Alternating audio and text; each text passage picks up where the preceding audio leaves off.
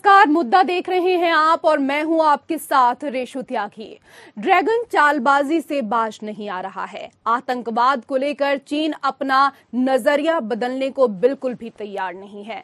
वो अपनी हरकतों से बार बार इसका हिमायती और समर्थक नज़र आ रहा है। उसने अब मुंबई पर हुए 26-11 हमले में शामिल लश्कर तैयबा के आतंकी साजिद मीर को वैश्विक आतंकी घोषित करने में अड़ंगा डाल दिया है। अमेरिका ने मीर को ब्लैक लिस्ट यानी कि काली सूची में डालने के लिए संयुक्त राष्ट्र सुरक्षा परिषद में प्रस्ताव रखा था और भारत ने इसका समर्थन किया था। लेकिन चीन ने बीटो कर दिया। अगर मीर वैश्विक आतंकी घोषित हो जाता तो दुनिया भर में उसकी सारी संपत्ति को जब्त कर लिया जाता और उसके सदस्य देशों में उसके आने जाने और इसके साथ ही उसे हथियार उपलब्ध कराने पर पूरी तरीके से बैन लग जाता, यानी कि रोक लग जाती। पाकिस्तानी आतंकी साजिद मीर वही है जो 26 नवंबर 2008 को मुंबई हमले के दौरान आतंकी अजमल कसाब समेत अन्य सभी आतंकियों को फ़ोन पर हमले के लिए लगातार उनके संपर्क में रहकर निर्देश दे रहा था। ज़िंदा पकड़े गए आतंकी कसाब ने साजिद मीर का नाम लिया था। मुंबई हमले की साजिश में लश्कर का संस्थापक हाफिज सईद व जकीउर रहमान लखवी भी इस दौरान शामिल थे। संयुक्त राष्ट्र सुरक्षा परिषद की अलकायदा प्रतिबंध समिति के समक्ष साजिद मीर को वैश्विक आतंकवादी घोषित करने का प्रस्ताव रखा था। अमेरिका द्वारा लाए गए प्रस्ताव में मीर की संपत्ति जब्त करने, यात्रा पर प्रतिबंध लगाने और हथियारों पर प्रतिबंध लगाने का आह्वान किया गया था। अमेरिका ने मीर के सिर पर 50 लाख डॉलर का इनाम घोषित कर रखा था। 26-11 हमले के मृतकों की लिस्ट में छह अमेरिकी भी थे, इसलिए अमेरिका भी साजिद मीर को दबोचना चाहता है। पाकिस्तान ने एफटीएफ की ग्रे लिस्ट से बाहर निकलने के लिए मीर को टेरर फंडिंग के केस में 15 साल की सजा सुनाई। हालाँकि मुंबई पर आतंकी हमले को लेकर पाकिस्तान ने मीर पर अब तक केस दर्ज नहीं किया है। साजिद मीर भारत के मोस्ट वांटेड की लिस्ट में शामिल है। चीन ने इससे पहले भी आतंकवाद के खिलाफ भारत व अन्य देशों के प्रस्तावों को पारित करने में अड़ंगे डाले हैं। पिछले महीने उसने जैश ए मोहम्मद के प्रमुख मसूद अजहर के भाई और पाकिस्तान स्थित आतंकी संगठन के एक वरिष्ठ नेता अब्दुल रऊफ अजहर को ब्लैकलिस्ट करने के लिए अमेरिका समर्थित प्रस्ताव पर तकनीकी रोक लगवा दी है। इससे पहले मसूद अजहर को वैश्विक आतंकी करार देने के प्रस्ताव में भी वो बाधक बना था।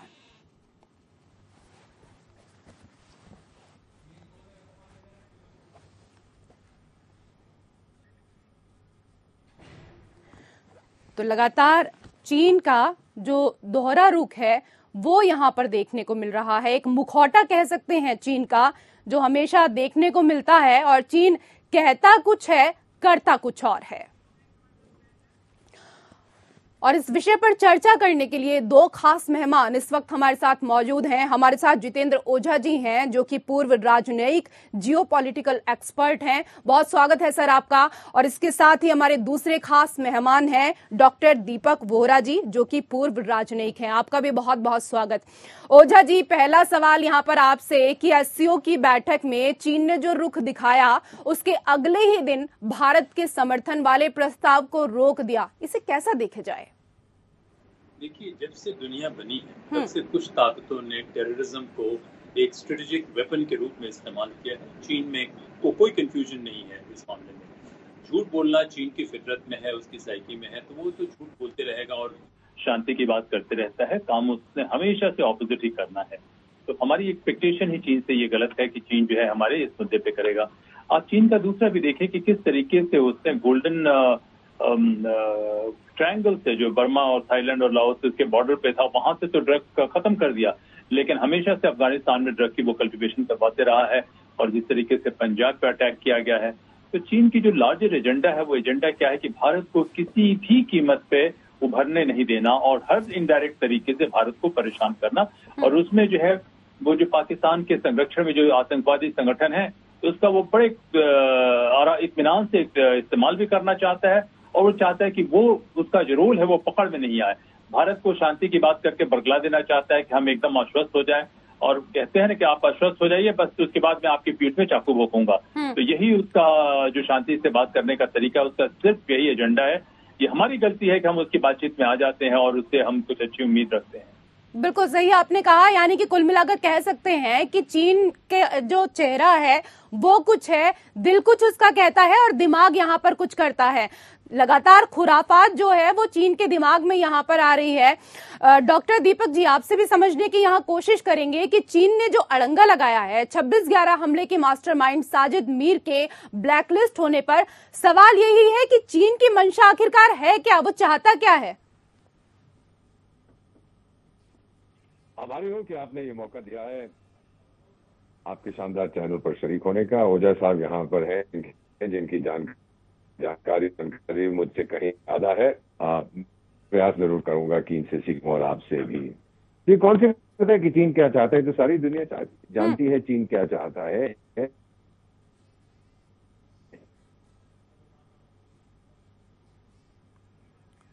चलिए आवाज़ यहाँ पर डिस्कनेक्ट हो गई है। इसका जवाब मैं यहाँ पर जितेंद्र जी आपसे चाहूँगी कि आप इस बात को पूरी तरीके से अगर कंप्लीट करें तो। मैंने बिल्कुल कहा कि चीन सिर्फ़ ये चाहता है कि टेररिज्म का इस्तेमाल वो इनडायरेक्टली करे हम्म। और डिनाइबल रूप से करे हम्म। मैंने कहा कि वो चाहता है कि पाकिस्तान जो है अपने टेररिज्म की खेती करती रहे पाकिस्तान की जो रजीम है वो उसके पिट्ठू बन के उसके इशारे पे नाचते रहे और पाकिस्तान के मिलिट्री को पिट्ठू बनने का बहुत बड़ा अनुभव है कि हम्म। पहले वो अमेरिका के पिट्ठू बन के नाचते रहे और उसके बाद जो है भारत को परेशान करना उनका काम था कि सोवियत और भारत की जो मित्रता थी तो किसी भी कीमत पर सोवियत को कंटेन करने के लिए इन्होंने लाया था। हम्म। अमेरिकन ने और ब्रिटिशर्स ने लाया था कि किस तरीके से उनकी एंग्लो रशियन राइवलरी जिसको अमेरिका ने इनहेरिट कर लिया। तो पाकिस्तान के जो रजीम है जो सरकार है उस या मिलिट्री स्टैब्लिशमेंट है वो बहुत क्लियर है कि वो किसी न किसी की पिट्ठू बन के ही रह सकती है। न तो अपने देश के बारे में वो सोच सकती है ना इंसानियत के बारे में सोच सकती है। और वो बिकाऊ किस्म की पुट्ठी है अगर आप मुझे इजाज़त है कहने का तो। तो अब उसे चाइना ने खरीद लिया है। और चाइना चाहता है कि भाई भारत एक बड़ी देश बड़ा देश है उससे भी पुरानी सिविलाइजेशन है। और भारत की सिविलाइजेशन जब चाइना में जाती है तब चाइना में थोड़ी बहुत इंसानियत आती है। देखिए सिविलाइजेशन का मतलब नहीं होता है कि कितने धोखाधड़ी से आप लोगों की हत्या करें। सिविलाइजेशन का मतलब होता है कितना ट्रस्ट आप फॉस्टर करें जिसमें सारी चीज़ें art culture science knowledge humanism ये सब कुछ थ्राइव करे फॉस्टर करे। तो चाइना कहता तो अपने आप को सिविलाइजेशन है लेकिन वो सिविलाइजेशन नहीं है।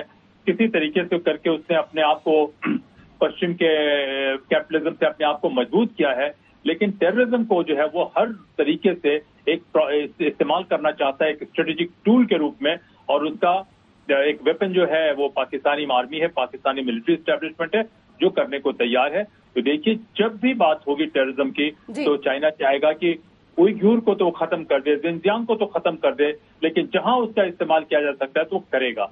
आज जो है वो भारत के खिलाफ कर रहा है कल ज़रूरत पड़ी तो पाकिस्तान के खिलाफ भी करेगा तीसरे कंट्री के खिलाफ भी करेगा। तो वो अपनी ताकत के नशे में अंधा है।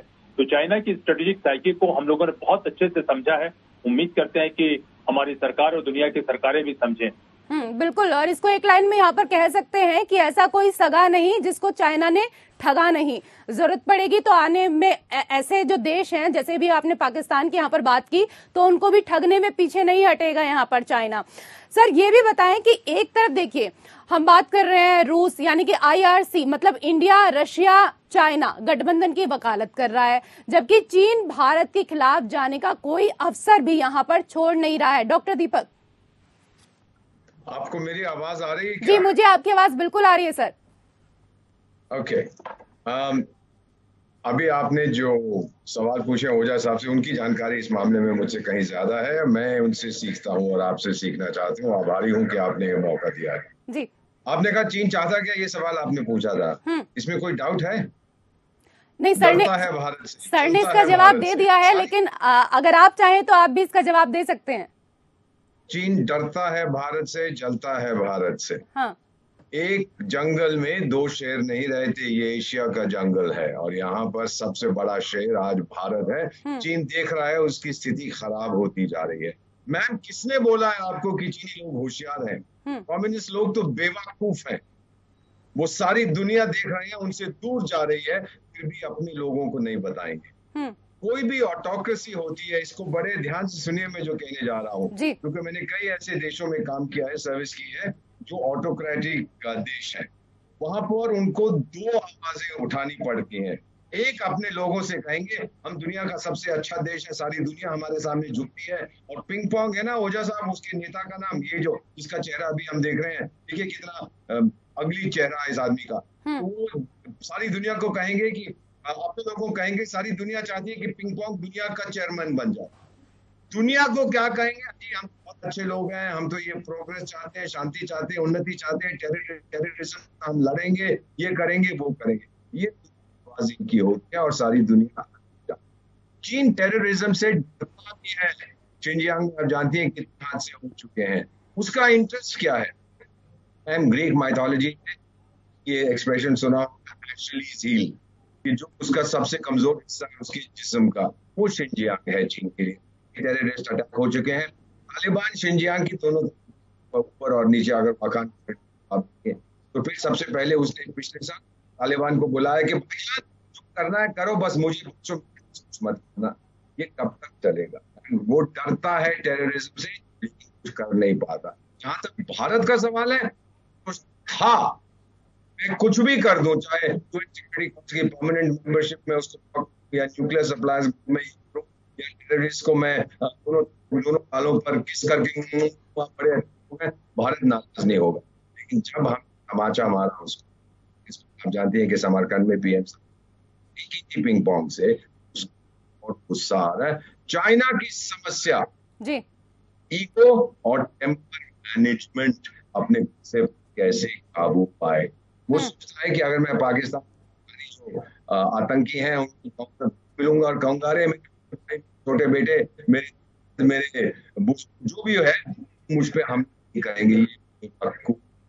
ये तो हिलरी क्लिंटन ने बहुत पहले पालोगे ना घर में सिर्फ़ डॉक्टर डॉक्टर दीपक आप बहुत अच्छे से समझा रहे हैं बहुत अच्छे से जानकारी यहाँ पर दे रहे हैं लेकिन बीच बीच में आपकी जो आवाज़ है वो भी यहाँ पर ब्रेक हो रही है। एक तरफ़ रूस आईआरसी मतलब इंडिया रशिया चाइना गठबंधन की वकालत कर रहा है जबकि चीन भारत के खिलाफ जाने का कोई अवसर छोड़ नहीं रहा है। इसको भी समझेंगे आपसे। देखिए चीन की जो सोच है उस सोच में दूसरे लोग उसके बराबर नहीं उसका ये कहना है कि आप अपने बारे में बिल्कुल मत सोचिए। आप हमारे वैसल स्टेट बन जाइए आप हमारे गुलाम बन जाइए।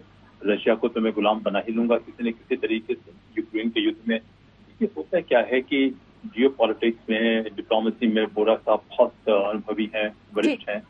तो वो बताएँगे कि लोग कहते कुछ और हैं करते कुछ और लेकिन फिर भी इसके बावजूद जो है दुनिया में पिछले पचास साठ साल सत्तर सालों में एक विश्वास का ट्रस्ट का माहौल पैदा हुआ है। कुछ रूल्स नॉर्म्स बने हुए हैं। चाइना ने क्या काम किया है कि पश्चिम की कमज़ोरी का फ़ायदा उठा के वो तरक्की तो कर लिया है, आर्थिक रूप से बहुत सारी चीज़ें बिल्डिंगें तो बना ली है, लेकिन ट्रस्ट उसके सिस्टम में आ ही नहीं सकता, क्योंकि वो एक अथॉरिटेरियन सिस्टम है, अपने ही लोगों को धोखा दे के किसी तरीके से वो लोग वहाँ पे बने हुए हैं। तो वो दोस्ती की जो बात कर रहा है, उसके हिसाब से कि वो शक्तिशाली है, दूसरे लोग उसके सेम बन जाए। कंफ्यूशन मोरालिटी भी क्या कहती है, जिस कंफ्यूशनिज्म की वो बात करते हैं कि जो शक्तिशाली है, लोगों को उसकी बात माननी चाहिए। तो वो हमारी मित्रता जो चाहता है इक्वालिटी के टर्म से बिल्कुल नहीं चाहता है। वो चाहता है कि वो यहाँ का सरगना बनकर रहे और हम उसके पीछे पीछे जाए जो कि संभव नहीं है। हम उससे कहीं बहुत पुरानी सभ्यता है हम में बहुत सारी कमियाँ हैं दिक्कतें हैं और वो ये नहीं चाहता कि हम अगर हम बड़ी ताकत है तो दूसरे का ध्यान भी रखेंगे। नहीं नहीं। हम दूसरे को जितना चाहे कमज़ोर करेंगे इतना कमज़ोर कर देंगे कि दूसरे कभी भी अपने पैरों पे खड़े न हो पाए। और यही वजह है कि चाइना में कॉन्टिन्यूटी रहने के बाद भी जो है आप देखें कि नाइनटीन सेंचुरी में कितनी दरिद्रता आ गई थी क्यों? क्योंकि दरिद्रता सोच में है। तो ये सी जिनपिंग की सोच की दरिद्रता है मैं कहूँगा। खास करके इतनी संपन्नता आने के बाद भी वो सिविलाइज नहीं हुए अपने आप को सिविलाइजेशन ज़रूर कहते हैं। तो हमारी भी गलती है कि देखिए हम इसमें किसी से एक्सपेक्ट नहीं करें कि वो करेंगे। उनकी बिहेवियर बार बार साफ़ है लेकिन हर बार हमारे लोग गलती करते ही रहते हैं। बिल्कुल सही आपने कहा कि हर बार बिल्कुल सही आपने कहा कि हर बार हमारे लोग जो हैं वो यहाँ पर गलती करते हैं। डॉक्टर दीपक आपने गाने की लाइन सुनी होगी कि एक चेहरे पर कई चेहरे लगा लेते हैं लोग और मुझे लगता है ये जो लाइनें हैं चीन के लिए बिल्कुल सटीक बैठती हैं उसी के लिए शायद लिखी गई हैं। लेकिन अब उसका असली चेहरा सबके सामने आ चुका है। वो अपने आप को बहुत शातिर खिलाड़ी समझते हैं है एक नंबर के बेवकूफ़। मैम कहते हैं शादी के मैं उदाहरण जानता नहीं हूँ अगर आपका विवाह हुआ है मेरे तो पैंतालीस साल हो गए हैं। कहते हैं कि आप पहली बार शादी करते हो तो वो तो बड़ी अच्छी बात है। अगर तलाक हो जाए दूसरी बार करते हो तो that is the triumph of hope over experience तीसरी बार करते हो वो तो बेवकूफ़ी है।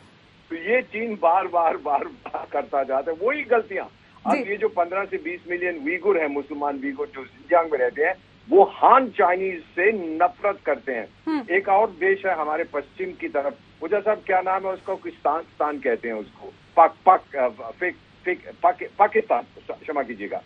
अब वहाँ पर आप देखिएगा जो सिंधी हैं जो महाजिर हैं जो पश्तून है वो सब पंजाबियों से नफरत करते हैं क्योंकि पंजाबी डोमिनेटेड सोसाइटी है सिंधी भी नफरत करते सिमिलरली ये क्या पिंग पोंग कोशिश कर रहा है कि जितने वीगुर हैं उन सबको हान चाइनीज़ बना दिया जाए। अपने लोगों को पैसे देता है कि भाई आप लोग जाके शादी करिए वीगुर औरतों के साथ और खूब बच्चे पैदा करिए वो हान हो जाएँगे। लेकिन वीगुर जो है मुस्लिम्स हैं और सब अच्छे लोगों की तरह धड़ाधड़ धड़ाधड़ बच्चे पैदा करते हैं।